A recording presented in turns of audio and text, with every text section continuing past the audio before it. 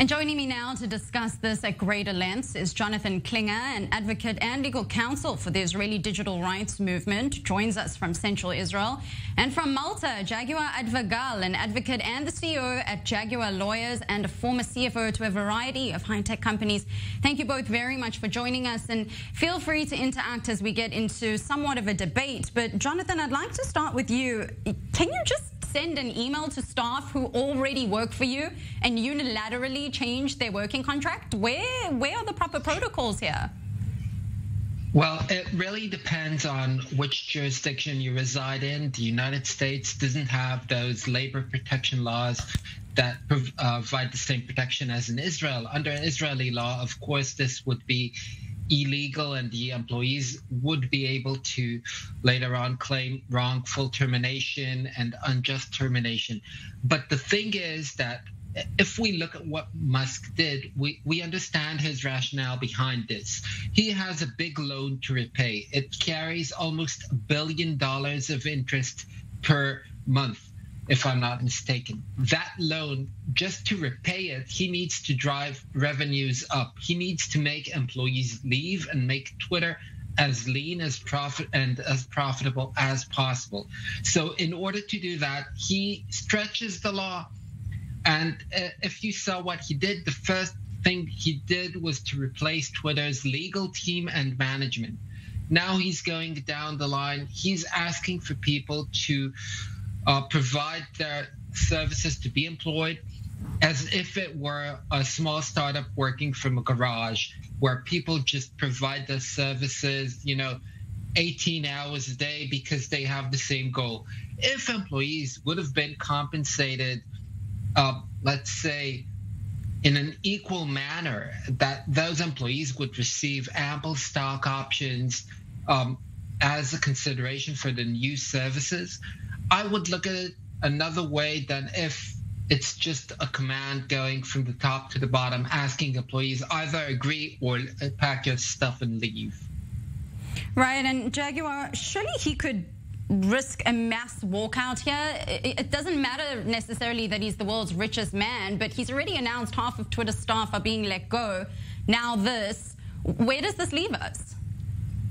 Well, in continuation to Jonathan's words, uh, with which uh, I fully agree.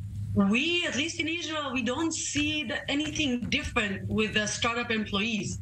And I'd like to only resent the fact that uh, people are saying, uh, why would you fire half of or require so much of employees to whom you might owe so much? But bear in mind, uh, he's a new buyer. He's like the new broom in the room. He doesn't owe any of these employees anything yet. He just paid for what he owes, and he paid full price or whatever price for the company. He's not the one who made this company with those employees, new or, or, or older or veterans. So he owes them nothing. And with capitalistic uh, uh, labor laws in the States, uh, as Jonathan mentioned, of course he can do that legally. And I believe that it falls very through with uh, his regular opinions saying that he'd rather work with a smaller team of highly motivated and highly skilled people than with uh, pretty good people and, then you know moderately motivated ones. And I think that a lot of employees will be very mad, and you know what? They might they might leave their jobs, and that would be fine with him or any new buyer. And I believe that the burden of the debt, it's like a leverage buyout uh, of a company, is totally irrelevant because even if the company had no debt whatsoever to a new buyer, to whomever, and this company is losing about $4 million a day.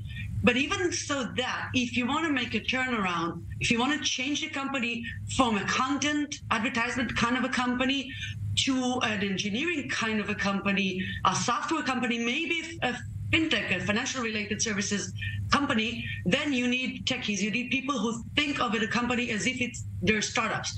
And whether they are uh, compensated enough or not, it's for them to decide. It depends on market conditions. That with these days market conditions on high tech, they might find it really useful for them, and that might actually get back the excitement uh, to that company as if it was a startup again. So, I mean, right. I, I admire his, his steps.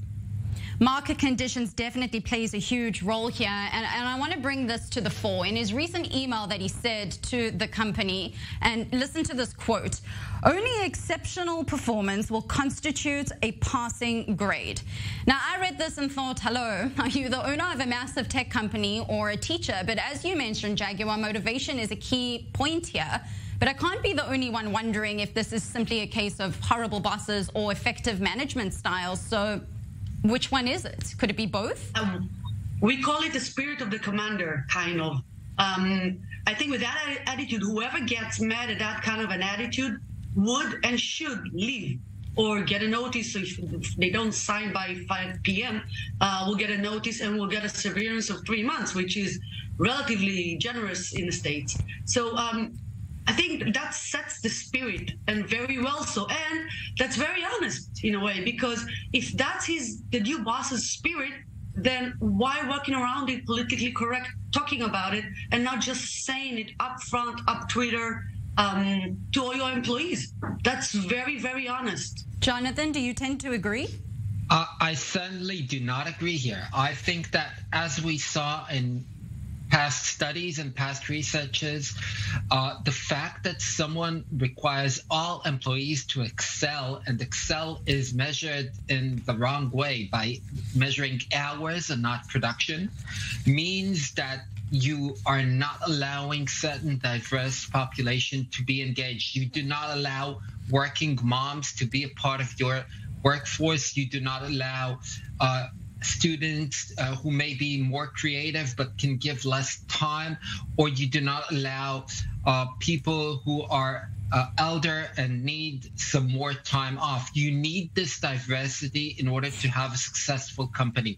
And you cannot only measure by hours. If you've listened to the recent episode of Freakonomics Radio, they measured a Chinese company that started a hybrid model and they saw that even though the general observation of managers on hybrid employees remained equal to, to their uh, scores before they became hybrid, the number of lines of code went up even though their hours went a bit down. This means that happy employees are more productive, and you can see that in uh, most uh, studies on four-hour work weeks, on paid time off. There's a lot of companies in Israel that would give you indefinite vacation days. You can choose how many vacation days to take. As long as you're productive in the company, you'll stay in the company. Measuring by the hour is the wrong way to measure employees because some people are more productive than others,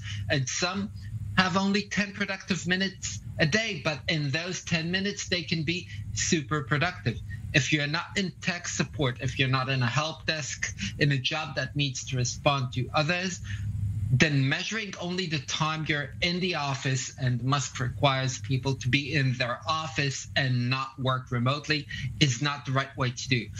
Having said that, also motivating them by putting pressure and by threatening to terminate whomever is least um, uh, uh, is least uh, attending, that would be another key point to make your employees less productive. Employees would be fearful. They would start looking for other uh, uh, jobs when they're in the office. They'll open up ZipRecruiter. They'll open up LinkedIn. They'll stay these hours, but they'll do other things if anyone read uh, Scott Adams' book, The Joy of Work, it's a late 90s book on corporate America. He has we, we need to we need to specifically work. have a look and I'm sorry to interrupt here but I've listened to what both of you are saying and the truth is Twitter is not the only one. We're looking at Meta Facebook's parent company Amazon. They've also laid off or are going to lay off thousands of employees. So is this a trend or is it a sign of the times? Jaguar you mentioned that this could just be the market circumstances Yes, the market circumstances, and while I fully agree with Jonathan regarding it, it's about production and not about the hours. I still believe this is like the spirit of uh, the, the, new spirit of the company, and this is just a symbol. And um, I think Elon Musk has uh, expressed uh, previously against the hybrid uh, work uh, capabilities because of the lesser production uh, productivity of that, not because of it's being hybrid. He was saying that employees don't actually work that much from home as much as they would from the factory. He still right. calls these places factories, not just the office. So yes, market conditions are very relevant. Employees would be more afraid to leave their jobs. They might be more frustrated and more afraid or whatever, but um, the chances of them leaving is not as much as it was last year. So that is another condition, market condition to take into account that, that I believe he's taking into account within the considerations.